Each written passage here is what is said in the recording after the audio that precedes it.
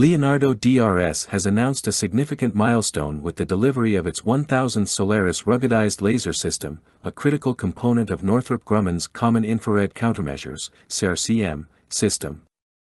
This advanced technology is designed to enhance the protection of rotary wing, tilt rotor, and small fixed-wing aircraft utilized by various branches of the U.S. Armed Services against a variety of missile threats. Dr. Timothy Day, Senior Vice President and General Manager of Leonardo DRS Daylight Solutions Business Unit, expressed pride in their collaboration with Northrop Grumman on this essential technology.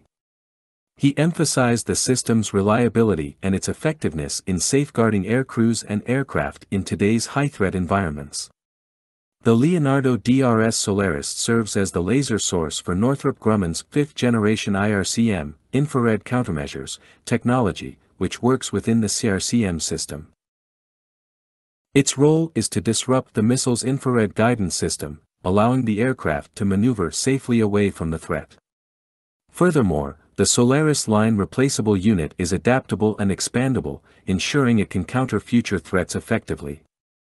In celebration of this achievement, U.S. Army and Northrop Grumman program officials are planning a visit to the Leonardo DRS production facility in San Diego to acknowledge the delivery of the 1000 Solaris unit for the CIRCM program. This event also serves as an opportunity to commend the dedicated employees contributing to the safety of frontline pilots and aircrews. Leonardo DRS has a strong presence in the U.S. military with its laser technology, reflecting their commitment to delivering cutting-edge sensing and laser technologies to support aircraft protection and various sensor applications for the U.S. Armed Forces.